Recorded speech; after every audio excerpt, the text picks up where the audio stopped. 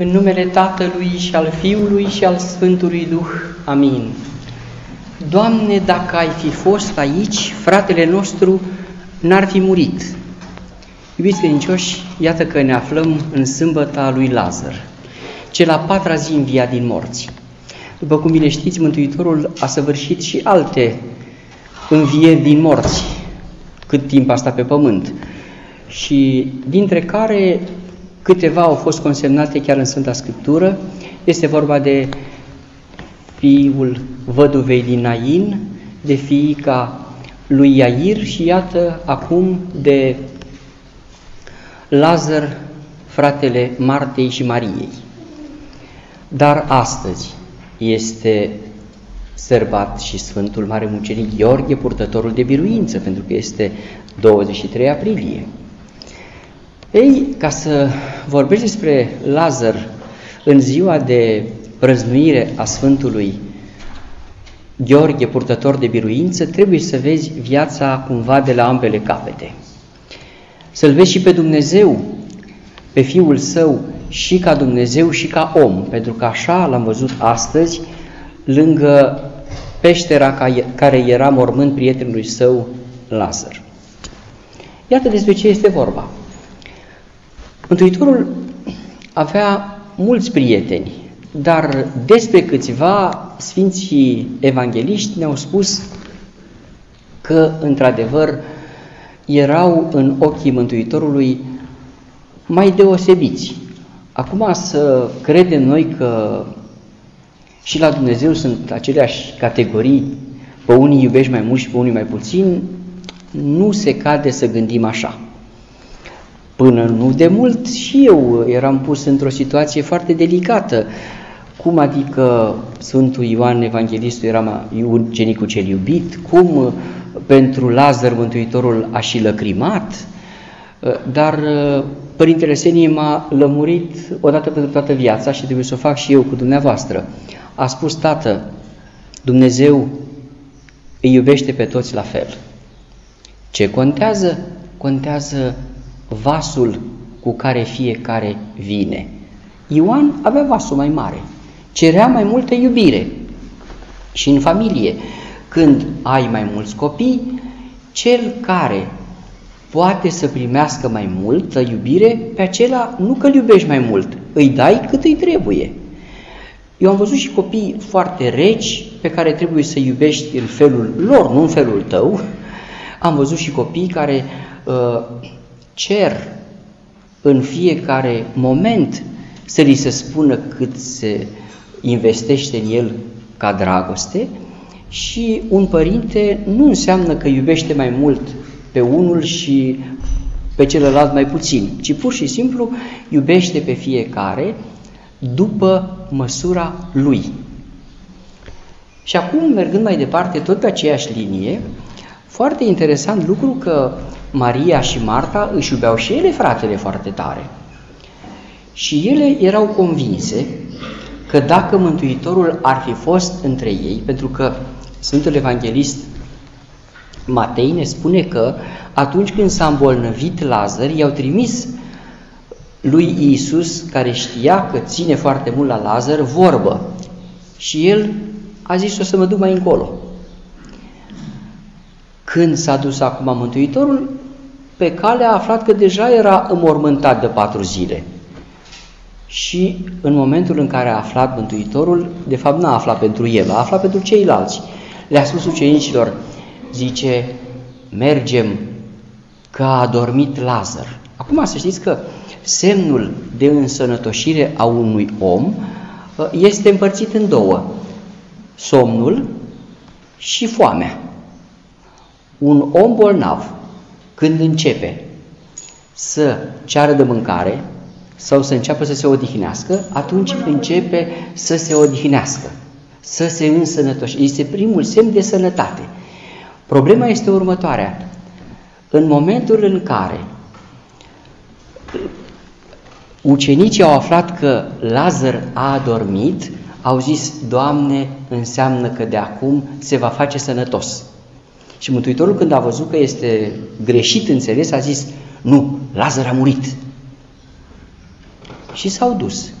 Și zice, mă bucur că nu eram acolo cu voi, pentru că a murit ca să se dea slavă lui Dumnezeu prin el. Și pe cale, în momentul în care Marta l-a întâmpinat pe Mântuitorul uh, la ușa cetății, în Betania, atunci aceasta i-a spus, Doamne, dacă erai cu noi, fratele nostru n-ar fi murit. Și zice, dar Lazar va învia. Și atunci, foarte senină, Marta, care știa toată teologia, i-a spus, bineînțeles că va învia la învierea cea de obște. Și a spus, eu sunt calea, adevărul și viața Mântuitorul. Cel ce crede în mine, viu va fi chiar de va muri. Iubiți credincioși, în momentul în care auzim aceste lucruri, trebuie să fim pătrunși de ele. Dar întrebarea este următoarea. Bun, Dumnezeu dacă ar fi cu noi, înseamnă că noi n-am mai muri. Adică ar exista posibilitatea ca cineva dintre noi să nu mai moară deloc, numai că este Dumnezeu cu el mereu? Păi nu este așa, nu vi se pare așa? Nu ne ducem noi în fiecare an pe 14 octombrie la Cuvioasa să o vedem la Iași? Ce nu ne ducem la un mort? Ne ducem la un viu. Asta este să fie Dumnezeu. Dacă Dumnezeu n-ar fi în catedral acolo lângă moaște, ar fi murit de mult. Ce moare din om? Că de fapt aceasta este tema pe care vreau să vă dezleg puțin.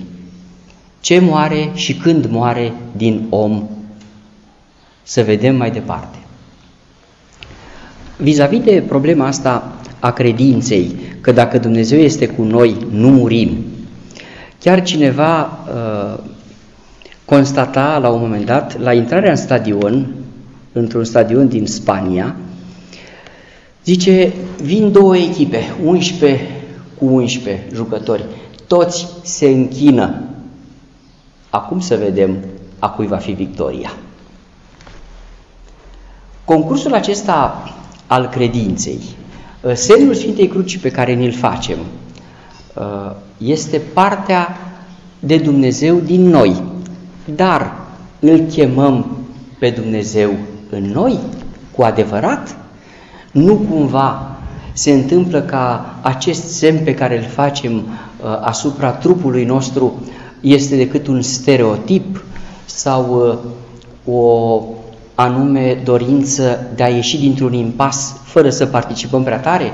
Îmi aduc aminte când fratele Dan Puric povestea când a mers el cu avionul spre America și avea de mers vreo 12 ore. Și când s-a suit a văzut că erau și două ardelence care duceau multe bagaje. Nu erau le prea gălăgioase, dar parcă printre domnii ăia așa numai la cravată nu prea dădea bine în dress codul lor casual, să zic așa, și cu paporițele mari și cu gura mare, dar când au văzut că erau așezate femeile, le-a admirat și când să plece avionul, amândouă au făcut câte o cruce mare. Acum vă imaginați că era și pe vremea cealaltă, ca să zicem, nu prea dădea bine așa când te închinai. Și săracul frate Dan chiar mărturisea că s-a simțit puțin stânjenit. Ei, dar pe la jumatea drumului, peste îl ocean, începe avionul să se clatine, tată. Bă, să înceapă să facă ca toate alea. Când în stânga, când în dreapta, când sus, când jos, toată lumea din avion ce făcea? Cruci! Toată lumea cruci la comandă. Toată lumea, Doamne ajută, Doamne să nu murim aici, Doamne să ajungem măcar în pădure, măcar pe... Dar nu în apa asta, că nu mai găsește nimeni. Și zice fratele Dan, ochii mei suști la connaționalele mele. Ele stăteau liniștite. Și eu am fost foarte nedumerit. Cum adică ele care erau singurele care s-au închinat, ce fac acum când toată lumea se închină? Ce nu vă supărați, mama, dar ce, nu vă închinați? Noi ne-am închinat la început. Știe Dumnezeu ce face. Ei, asta face diferența. De unii câștigă și alții nu câștigă, deși se închină toți.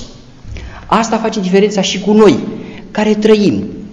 Unii ne îmbolnăvim mai devreme, alții mai târziu, alții deloc. Eu am văzut, să știți, foarte mulți oameni uh, care și-au găsit sfârșitul fără să fie bolnavi. Și nu neapărat într-un pom, Doamne ferește, nu, ci pur și simplu au murit sănătoși. Că știți că acum se spune că diferența între un fumător și un nefumător, după ce mor amândoi, uh, fumătorul este, a murit un uh, om bolnav. Dar nefum, la nefumător, când se uită fratele care face autopsie, a murit un om sănătos. Așa că sănătate și cu moartea să nu vă uh, amăgiți că ar sta așa mână-mână. Nu, nu, nu, nu. Și să vedem mai departe cu fratele nostru Lazar. Pentru că în momentul în care Mântuitorul a, a intrat în cetate, atunci a venit și sora cealaltă. Și Maria, plângând, a zis, Doamne, dacă era aici, fratele nostru n-ar fi murit. Bă, fraților, dacă nu s-au auzit una pe alta, Marta cu Maria, și au spus același lucru, asta înseamnă, una, că au gândit la fel și doi, negreșit, au și vorbit pe tema asta. Înseamnă că ele atunci când uh, încă îl mai îngrijeau pe Lazar fiind bolnav, aveau conștiința că dacă ar fi fost aici prietenul tău Hristos, era altă situație. Ei, ce învățăm noi? Că acum problema știți care este? Nu este învierea lui Lazar, cât este ce învățăm noi din învierea lui Lazar. Să nu cumva să treacă pe lângă noi. Imaginați-vă că Lazar, după ce a înviat, deși era a patra zi de când murise, după un anumit timp a murit din nou. Deci învierea asta a fost decât o minune, la stadiul de minune, dar nu la stadiu de generalizare a unei situații. Nu. Nu, nu este generală învierea înainte de învierea cea de obște. Pe noi ne interesează cum trăim și dacă murim, cum murim și de ce murim și când murim. Unii dintre noi sunt amăgiți să creadă că murim atunci când închidem ochii și nu-i mai deschidem. Chiar îmi aduc aminte de un uh, medic anestezist care mi-a zis, părinte, uite care e problema, că eu întreb în general ca să am ce să vă spun și dumneavoastră. Zic, ce este foarte greu? Zice, domnule, nu e greu să-l adorm pe om. Asta o facem după o rețetă.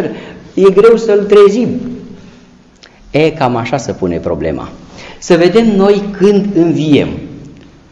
Da, a murit ca să vedem când înviem, să vedem când murim atunci. Să o luăm pe rând. Murim ori de câte ori suntem triști. Atunci murim.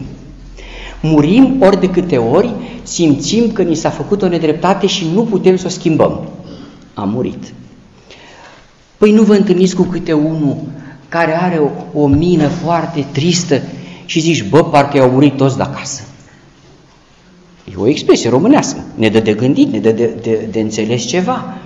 Înseamnă că omul moare de mai multe ori într-un ceas, de mai multe ori într-o zi și vă imaginați în viața lui de câte ori moare.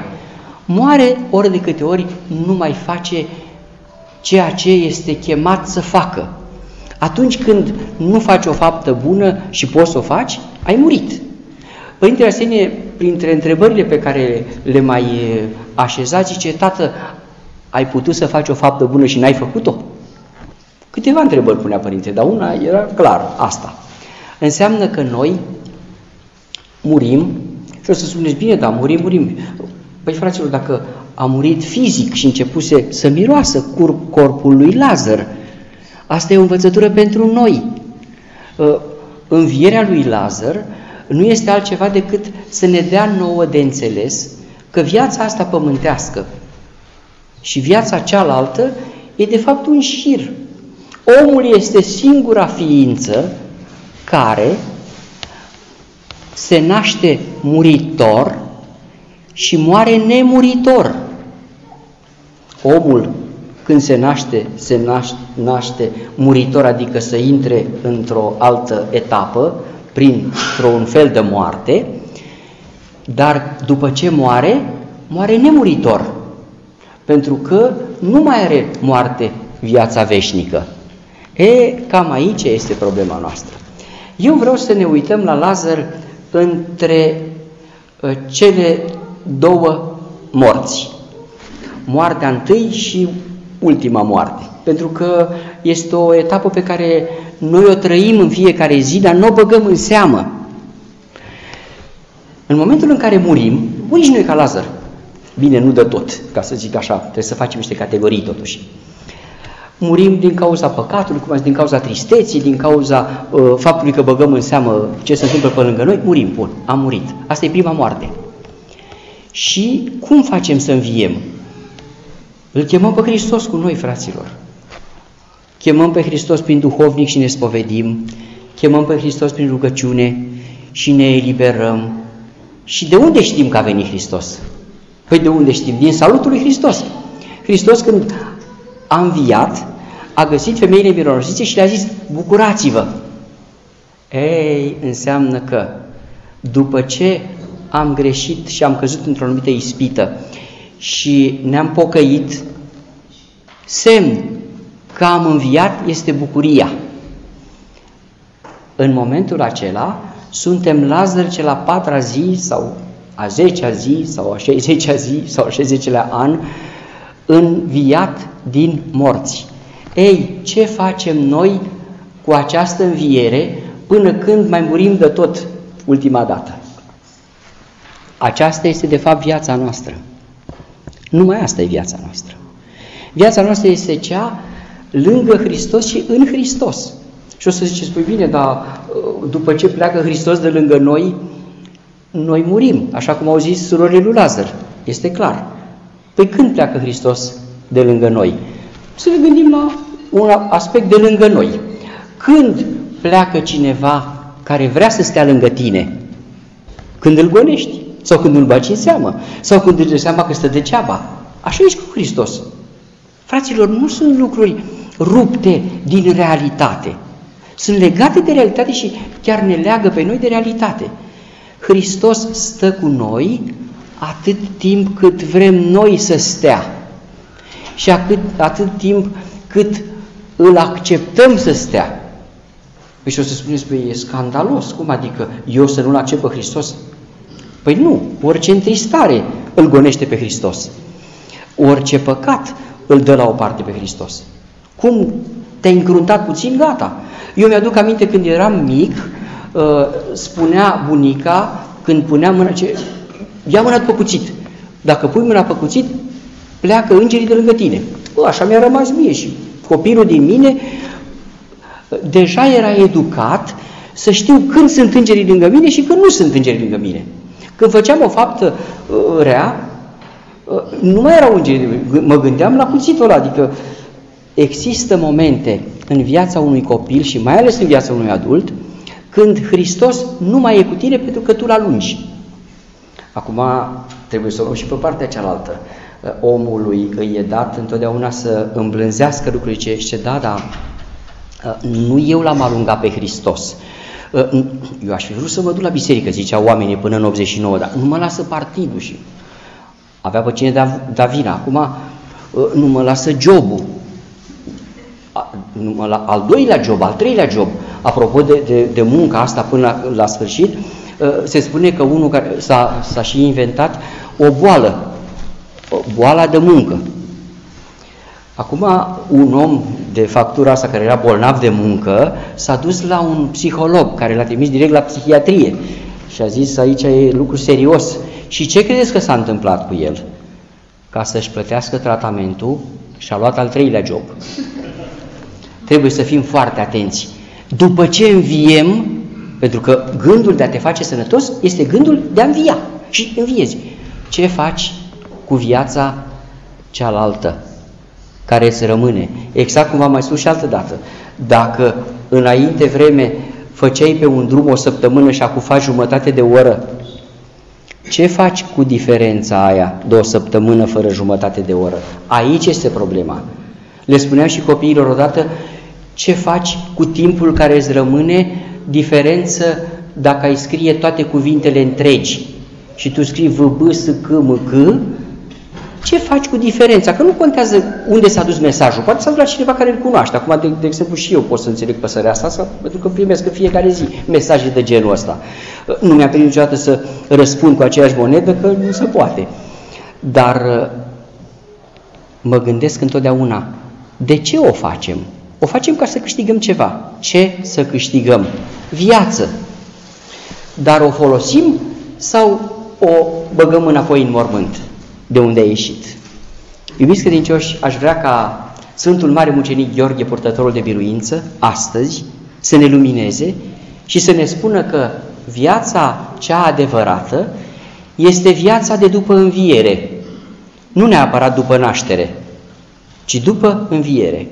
Să ne gândim, măcar jumătatea de zi care ne-a rămas, ce facem cu secunda aceea pe care am câștigat-o. Poate că am câștigat-o cu sudoare și acum stăm așa și o pierdem fără sudoare, la umbră sau la soare. Să rânduiască Dumnezeu ca înțelepțirea pe care ne-o trimit Sfinții, atât Sfântul Lazar, cel la patra zi înviat din morți, cât și Sfântul Mare Ușirii Gheorghe, purtătorul de biruință, să ne facă să înțelegem că, de fapt, noi trăim, nu suntem morți. Așa să ne ajute Dumnezeu.